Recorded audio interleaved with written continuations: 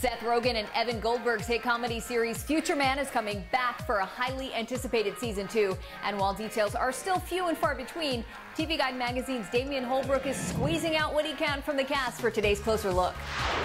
Welcome to the Resistance. Okay. Everybody, I am sitting here with the crew from Future Man, coming back for its second season. So to the, the back row of producers and creators, what are we coming back with? The entire season takes place more or less in 2162. Our characters are sent there for various reasons, some to go home, some dragged there against their will and uh, it's all about the, the future that they inadvertently had a hand in creating.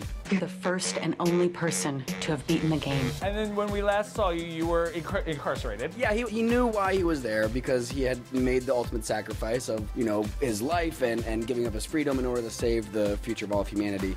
Um, so he was very happy. And then we start this season off and, uh, that didn't really go as he had thought. And then Wolf and Tiger are off where? Tigray, she's got a lot going on.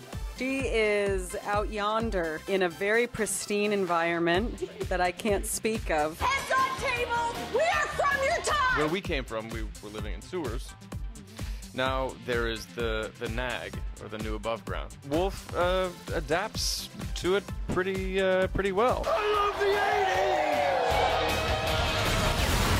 80s. Don't miss Future Man season two. Thanks, guys. Thank you.